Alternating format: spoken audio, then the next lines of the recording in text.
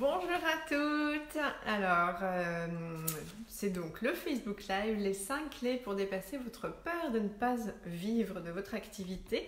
Donc, euh, je vais vous laisser tranquillement arriver. Alors, pour la petite anecdote, j'étais prête avec mon ordinateur et euh, c'est généralement pas avec mon ordinateur que je fais des Facebook Live. Donc, du coup, j'ai dû me reconfigurer, prendre conscience que je n'avais pas le bon outil et me repositionner pour arriver à vous aujourd'hui.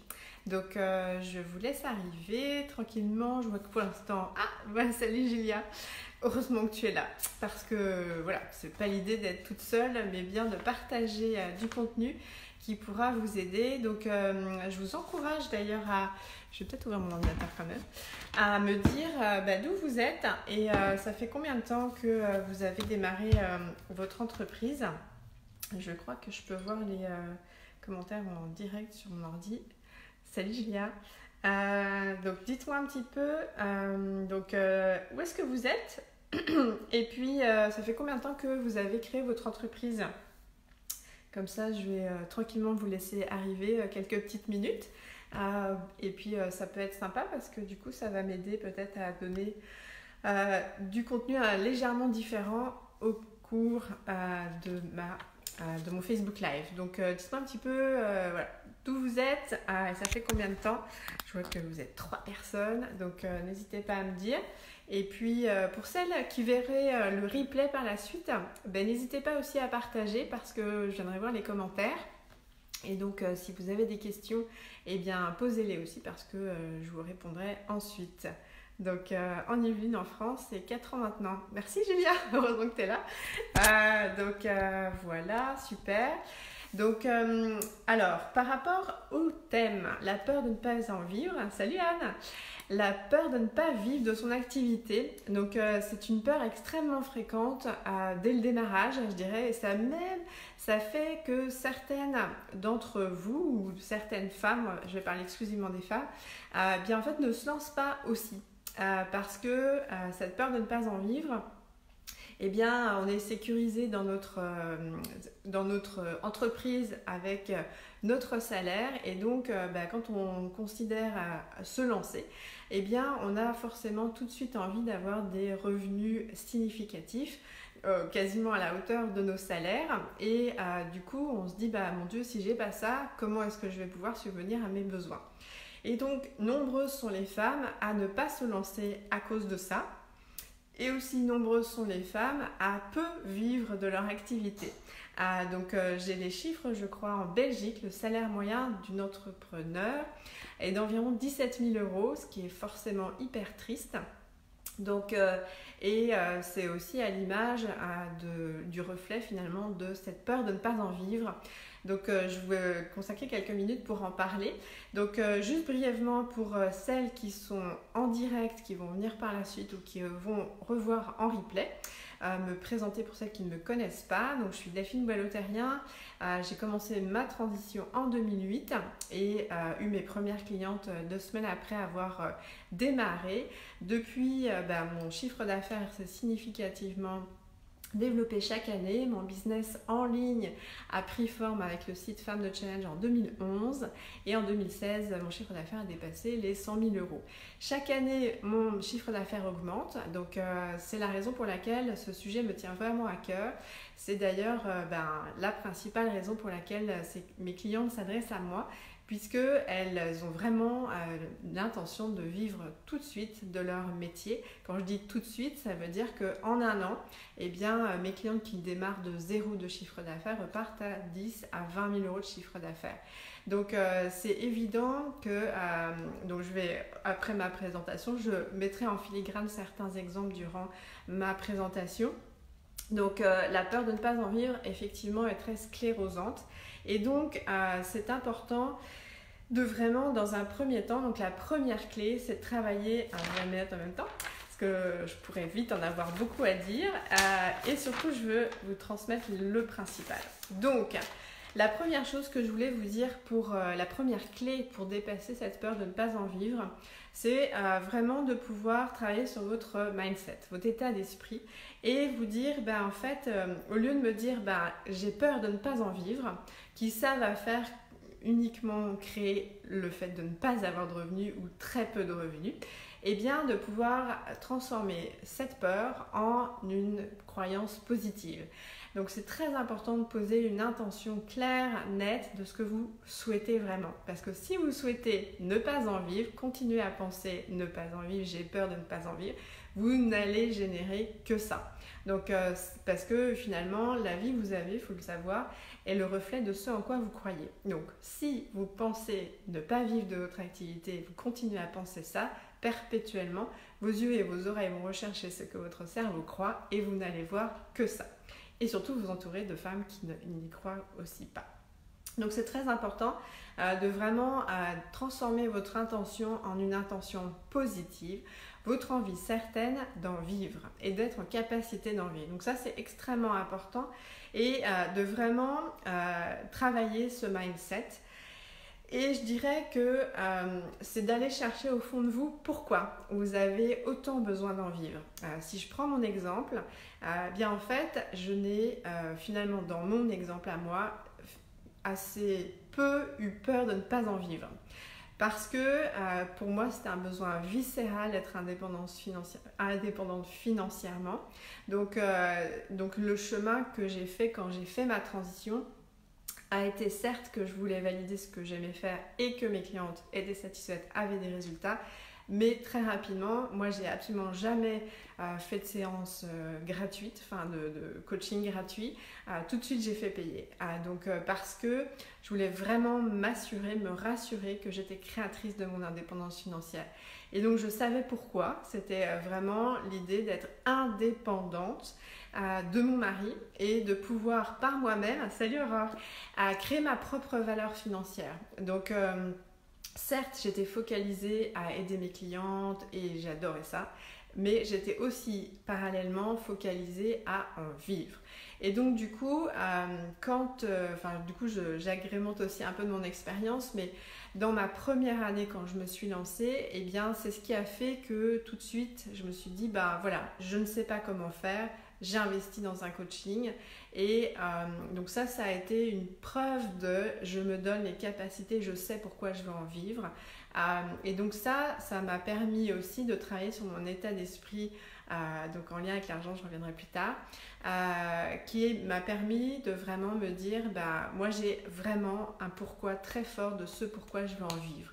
Donc, je voulais être indépendante financière, pouvoir rapidement bah, être indépendante dans mes dépenses, pouvoir faire des cadeaux, participer plus significativement euh, aux investissements, aux dépenses de la maison, de la famille.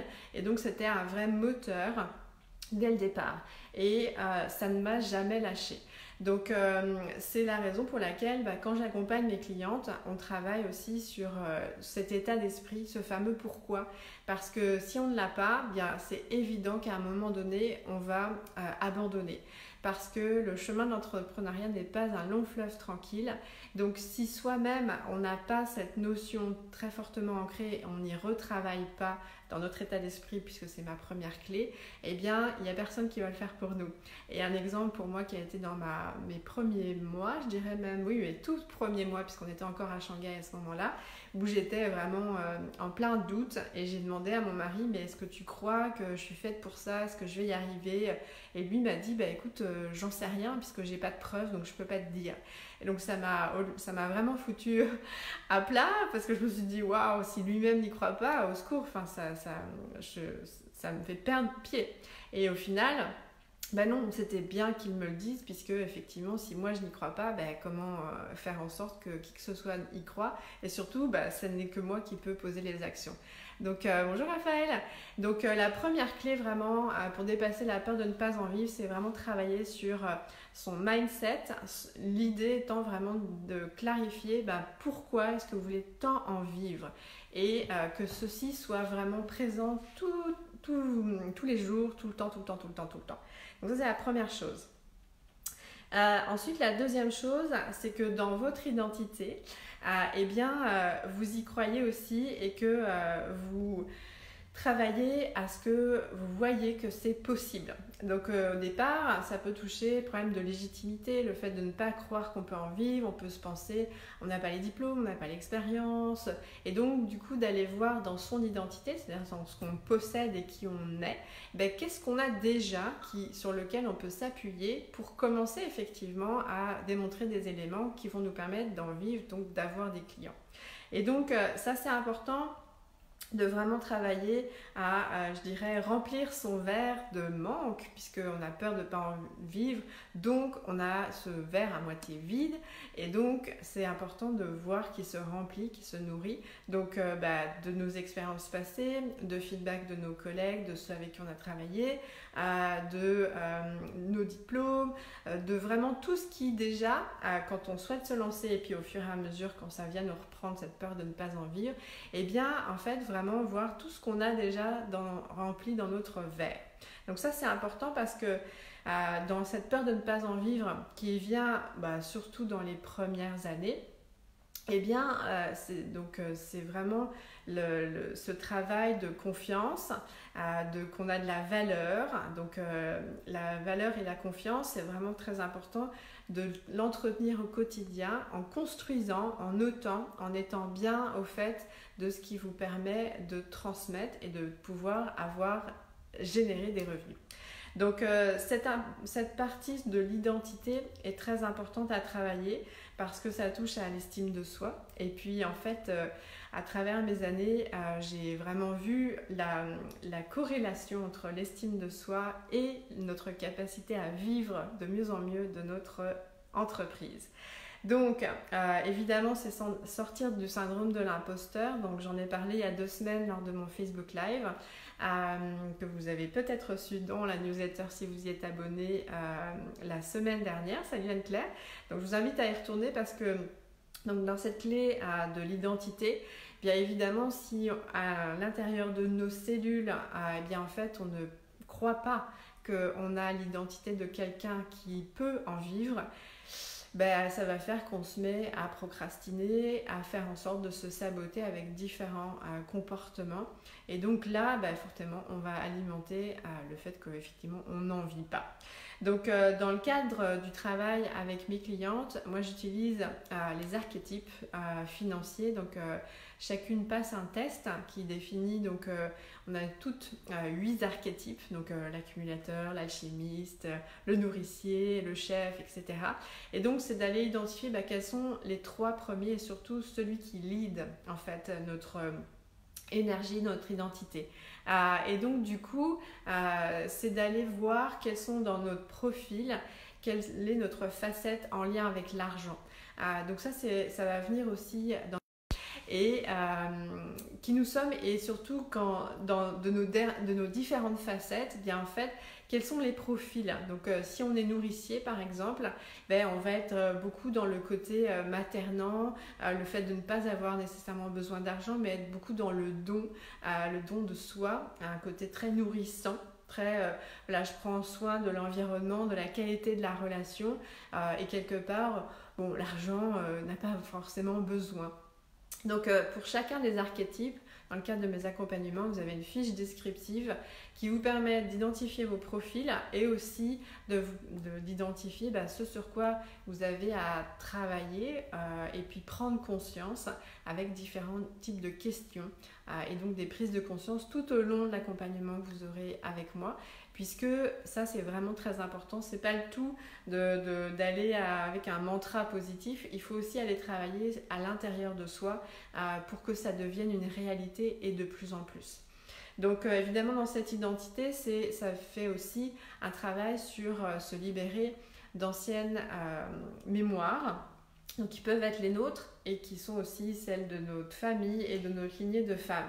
Parce que en fonction de notre histoire, eh bien, on a développé un schéma. Excusez-moi, j'ai un petit message de donc, euh, on a toute petite, euh, inconsciemment consciemment, euh, ben, en fait, eu une photo qu'on a ancrée en soi de ce que peuvent avoir transmis notre, nos parents et puis notre famille. Donc, nos parents et notre famille. Donc, c'est très intéressant d'aller investiguer là-dedans. Moi personnellement, si je vous illustre, ben en fait, ma maman s'est arrêtée de vivre quand elle m'a eu. Moi, j'étais l'aînée parce qu'elle considérait qu'elle ne pourrait pas concilier enfant et travail. Et du coup, bah, moi, j'ai vu ma mère énormément frustrée, euh, beaucoup s'engueuler avec mon père en lui disant qu'il était un pixou, euh, et donc la voyant lutter finalement. Euh, à vouloir de l'argent, enfin du coup c'est ce que je pensais à ce moment-là, et donc être dépendante financièrement de mon mari, de mon père, et lui en vouloir, alors que lui, bah, en fait, euh, lui en donnait, enfin j'avais pas de problème d'argent, et donc il y avait ce côté dépendante euh, financièrement, et donc moi j'ai fort intégré le fait que jamais je ne voudrais euh, bah, être dépendante pour ressembler finalement à ce que représentait le couple de mes parents, de ce que j'en ai en tous les cas enregistré. Donc ça fait une partie du travail. Après, il y a sa lignée de famille et il y a aussi sa lignée de femmes. Donc, c'est important d'aller euh, se libérer de ce genre euh, de mémoire. Donc, il y a plein de techniques sur lesquelles euh, vous pouvez travailler. moi, personnellement, j'utilise l'EFT que je trouve vraiment très efficace. Et donc, c'est très important d'aller travailler là-dessus. Et en même temps, ce que j'ai envie de vous dire, c'est que moi, dans mes premières années, eh bien, je ne savais pas 50% de ce que je vous transmets aujourd'hui. Et euh, ça ne m'a pas empêché de vraiment euh, décoller dès les premières années, puisque ma première année, j'ai fait 10 000, la deuxième année, 25 000, la troisième année, 45 000. Donc ça a toujours été en croissance. Mais ça n'empêche que plus vous mettez ce que je vous partage, bah, plus rapidement c'est possible que vous génériez euh, des revenus. Et donc l'idée pour euh, garder toujours ce fil de euh, dépasser la peur de ne pas en vivre, c'est de rentrer dans une spirale positive. Dès le démarrage, je vous ai dit, voilà, travailler son mindset. Donc au lieu d'aller alimenter la spirale j'ai peur de ne pas en vivre, bah, décidez de ne pas l'alimenter justement et de changer directement tout de suite votre mindset en ayant une intention claire puis à travailler sur votre identité, vos croyances, à vous rendre capable, mais du coup à vous libérer de ce qui pourrait vous bloquer, parce que forcément quand dans notre identité, euh, ben, on a tout ce qu'il faut pour ne pas y croire, on a beau passer à l'action, ben, on fera tout pour saboter le fait que ces actions effectivement potentiellement peuvent nous permettre d'avoir des revenus. La troisième clé, euh, c'est vraiment cibler finement sa clientèle cible et euh, construire des offres qui leur sont dédiées. Cette euh, étape, enfin cette clé-là, elle est aussi en or parce que je vois tellement, tellement d'entrepreneurs qui ont peur de ne pas en vivre justement et qui veulent aider la terre entière et donc qui font que euh, leur communication est complètement édulcorée, leurs services sont absolument pas spécifiques, en plus pour une grande partie elles vendent leurs services à l'heure, donc c'est vraiment euh, quelque chose qui est important cette clé de spécifier, puis quelque part plus vous spécifiez, mieux c'est.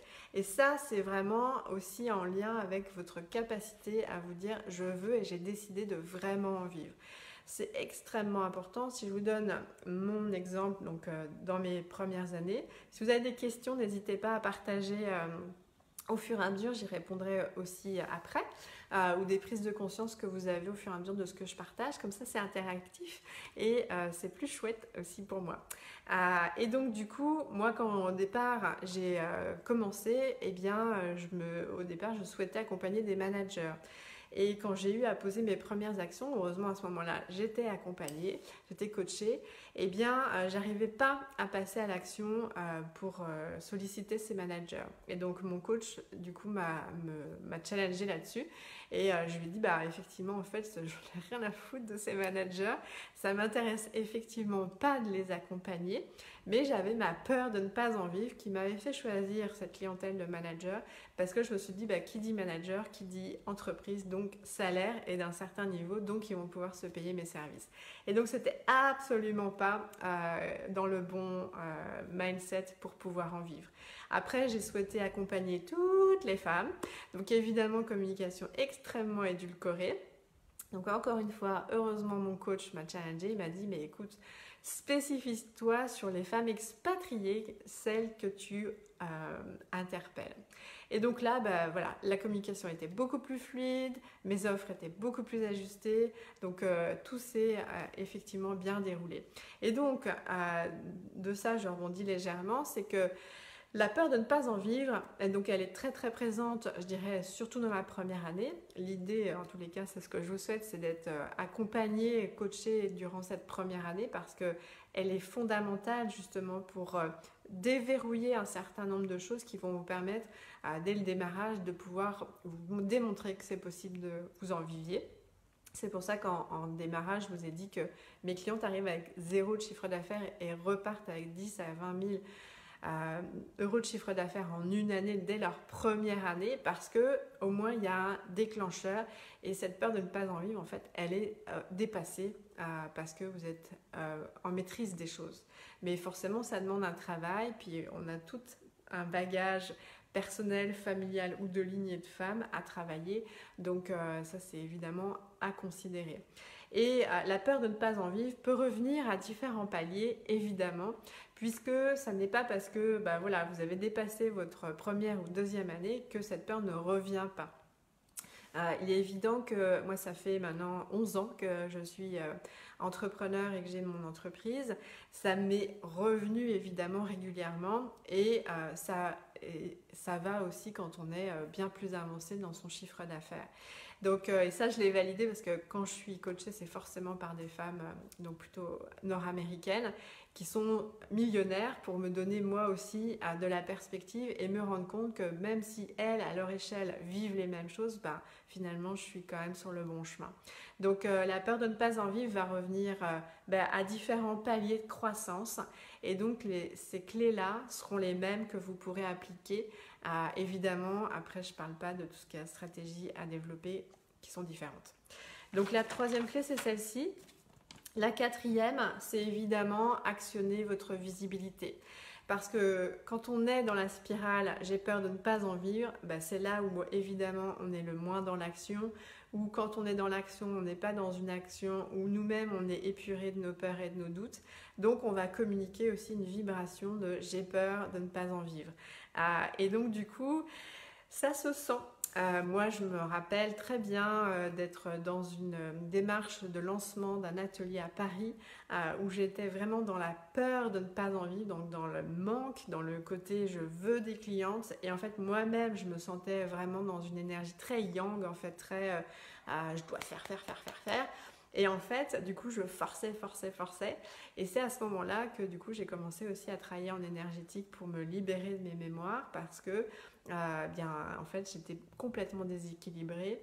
Donc, vraiment dans ce peur, cette peur du manque de clients, cette peur de ne pas en vivre. Et donc, je forçais complètement et je n'étais beaucoup, je n'étais plus du tout dans ce côté beaucoup plus euh, fluide, euh, beaucoup plus yin. Et du coup, bah, j'avais beau être dans la visibilité, ben, ce n'était pas aligné. Donc cette visibilité, elle doit être, mais avec les euh, oui, trois clés précédentes. Euh, et donc du coup, la visibilité, elle est ultra importante parce que, euh, donc comme je vous disais, quand on est dans la peur de ne pas en vivre, on ne se rend pas visible. Et donc ça, du coup, ça ne fait qu'alimenter bah, le fait de ne pas en vivre concrètement. Et la visibilité, elle est importante régulière et consistante. Ah, donc ça veut dire que si vous avez bien mis la clé 3 donc précédente de une clientèle très spécifique et une offre bien ajustée à cette clientèle, eh bien en fait votre, votre communication déjà elle est bonne. le fait est qu'il faut, faut être fréquente, c'est-à-dire constante euh, parce que euh, aujourd'hui il y a beaucoup d'informations via internet, donc beaucoup de bruit en fait. Mais donc déjà si vous la ciblez sur votre clientèle, bah, déjà elle est beaucoup plus ajustée et aux endroits où elle est, donc ça c'est important. Mais aussi il faut que vous soyez régulière parce que c'est pas le tout d'y aller une fois de temps en temps.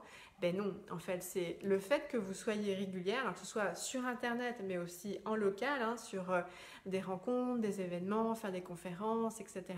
Eh bien, en fait, c'est ce qui va permettre qu'on vous voit régulièrement, puis toujours avec de l'information qui me concerne. Donc forcément, ça donne envie d'aller vous rencontrer et de travailler avec vous. Parce que quand on est dans l'accompagnement, ce qu'on sait en fait, c'est qu'on doit aussi euh, bah, montrer notre expertise, notre connaissance de notre clientèle cible, mais aussi sécuriser. Parce que nous sommes des professionnels qui accompagnons des clients qui, euh, elles et eux, bien euh, voilà, c'est un changement, qu'on soit photographe, chanteuse, euh, en reconversion professionnelle ou décoratrice. Bref, on vit quand on est accompagné des changements émotionnels et donc quand on voit une professionnelle qui semble être la bonne, eh bien il faut qu'elle nous rassure, qu'elle nous sécurise. Donc le fait d'être régulièrement là avec des informations qui euh, sont bien ajustés à nous, eh ben, ça rassure, ça donne confiance. Donc ça, c'est hyper important. Et donc évidemment, dans cette visibilité, l'idée, euh, c'est qu'aujourd'hui, de plus en plus, ces actions se euh, professionnalisent. Donc l'idée, c'est pas de communiquer, communiquer. Alors certes, sur le principe, vaut mieux une action imparfaite qu'une parfaite inaction, ça c'est évident. Mais ça n'empêche que euh, pour être pérenne et que votre entreprise soit de plus en plus profitable, ben, au fur et à mesure du temps, effectivement, dans cette spirale positive des pourquoi je souhaite en vivre, c'est aussi pour pouvoir vous, bah, vous former à ces différentes techniques. Donc par exemple, comment faire des conférences qui convertissent, euh, comment faire des ateliers qui vous amènent ensuite des clients dans vos programmes. Eh bien tout ceci, en fait, s'apprend. Euh, ce n'est pas parce que euh, voilà, on se rend visible que les clients vont comprendre ben, qu'on a des services et que facilement vous allez pouvoir parler de vos tarifs. Donc du coup, tout ça, ça s'apprend et c'est hyper important que ce soit aussi dans vos pourquoi de savoir que effectivement vous avez besoin de générer des revenus. C'est aussi pour vous outiller et aussi pour faire appel à des professionnels qui vont pouvoir vous aider de plus en plus à avoir ben, des actions de visibilité qui convertissent. Voilà, surtout de plus en plus aujourd'hui. Je vous dis ça parce que quand en 2011 j'ai commencé sur Internet, j'ai parmi les premières françaises et donc forcément quand je faisais des articles ou des vidéos, ben, ça faisait assez vite mouche.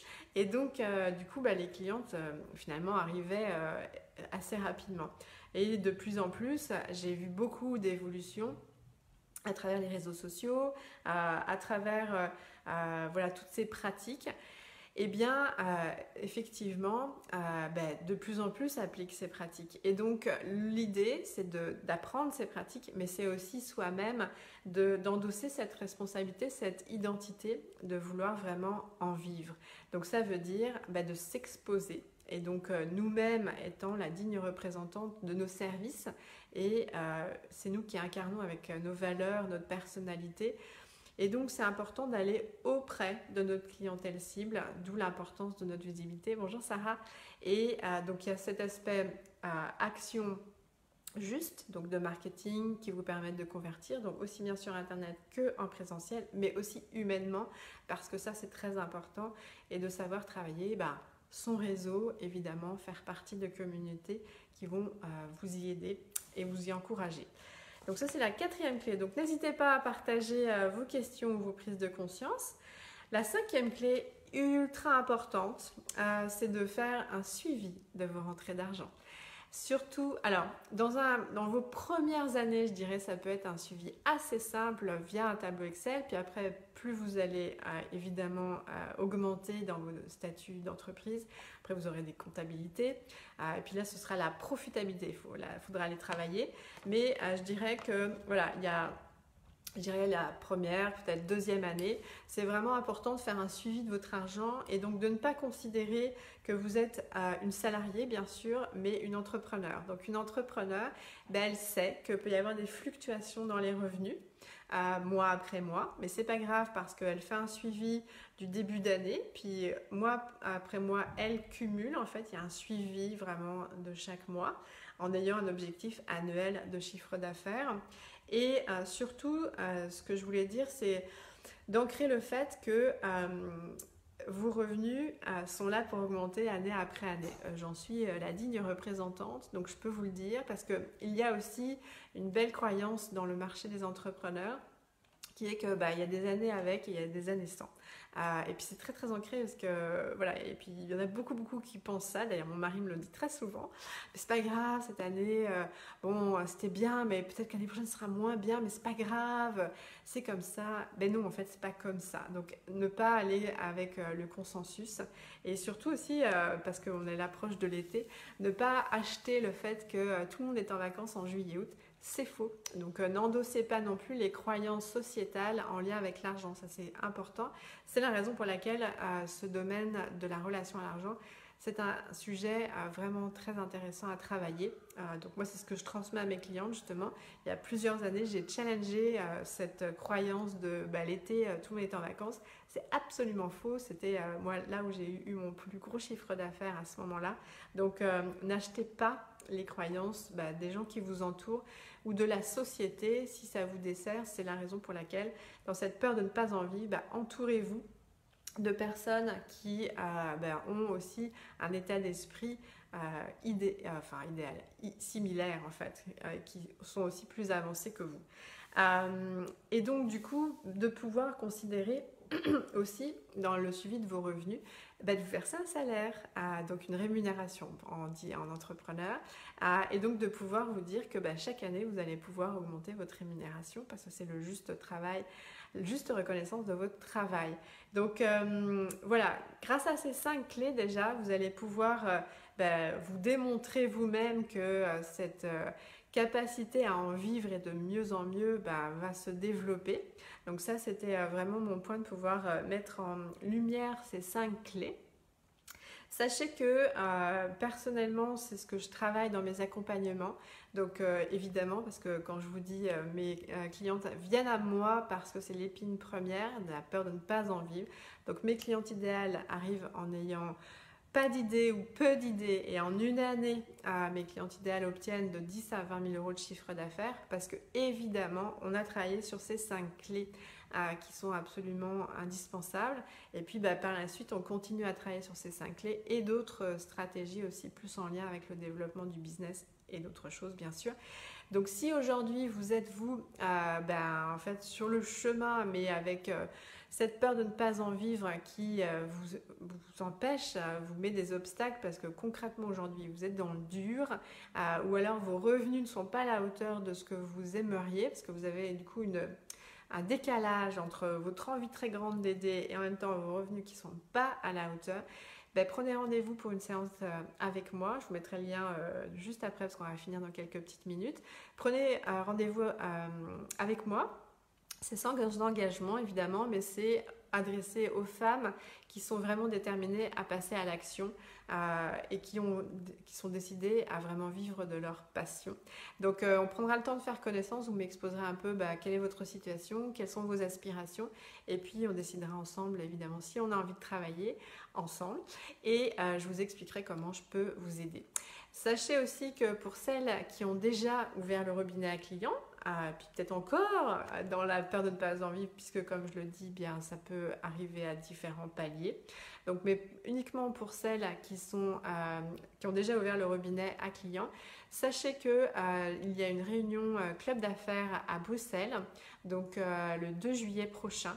Donc une réunion club d'affaires, ça réunit des femmes comme vous qui ont l'ambition, en fait, donc qui ont déjà des clients qui ont l'ambition de pouvoir développer leur business en s'entraidant entre femmes qui ont les mêmes aspirations, les mêmes valeurs.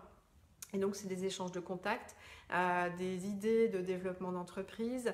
Et donc, on se réunit à peu près tous les deux mois, donc à Bruxelles, à Paris, et euh, donc tout ça en présentiel. Donc, euh, si vous le souhaitez, je vais aussi mettre le lien de la page pour avoir les informations et vous y inscrire, juste au-dessus ou en dessous du Facebook Live. Voilà, est-ce que vous avez des questions ou des prises de conscience à me partager suite à cet appel? Je prends un petit coup d'eau. Anne-Claire qui me disait, je suis encore dans ce syndrome, même si plus léger qu'avant. Excellent, c'est ça qui est important, c'est de hum, faire un suivi de l'évolution et de voir que ce syndrome s'allège. C'est ça qui est motivant aussi, parce que quand on est entrepreneur, c'est l'idée de l'amélioration continue. Donc il peut y avoir des bas, bien sûr, mais c'est de voir que les bas sont moins bas et les hauts sont de plus en plus hauts, que ce soit financier ou euh, en lien avec euh, le syndrome de l'imposteur, par exemple. Ok. Alors je vois qu'il n'y a pas de questions, des fois il y a un petit décalage. C'est pas grave. En tous les cas, si vous en avez par la suite, n'hésitez pas à les poster sous ce Facebook Live. Puis pour celles qui auront vu le replay également. Et euh, bien écoutez, euh, j'espère que en tous les cas, je vous ai apporté des informations, des idées ou des prises de conscience aujourd'hui. Et je vous souhaite une bonne continuation dans votre journée. À très bientôt. Au revoir.